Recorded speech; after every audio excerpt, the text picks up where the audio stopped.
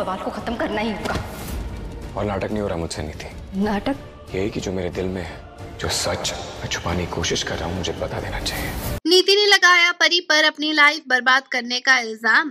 एक बार फिर बेबे के साथ मिलकर नीति ने बनाई परी को मारने की प्लानिंग कलर्स टीवी शो पर नीति के अपकमिंग एपिसोड में हमें ये देखने मिलेगा। जैसा कि नीति का फूटा परी के ऊपर गुस्सा और अपनी लाइफ बर्बाद करने का इल्ज़ाम भी परी के ऊपर लगा दिया नीति ने।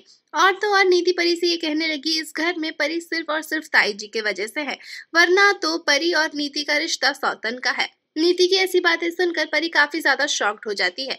वहीं दूसरे ओर बेबे के साथ मिलकर नीति एक बार फिर करती है परी को मारने की प्लानिंग बेबे के सामने जाकर नीति ये कहने लगती है कि अब वो बहुत शांत रह गई लेकिन अब वो शांत नहीं रहेगी, और इस बार वो परी को मार कर ही रहेगी। वहीं दूसरे ओर संजू को हो चुका है नीति के ऊपर बड़ा शक, और अब अपने शक को नीति के सामने संजू करने वाला है बयां। नीति से मिलने जाता है संजू, और नीति के सामने अपने शक के बारे में भी संजू बता देता है। तो क्या करेगी नीति? जानने के लिए जुड़े रहे हमारे साथ, और हमारे चैनल को सब्सक्राइब करना ना भूलें।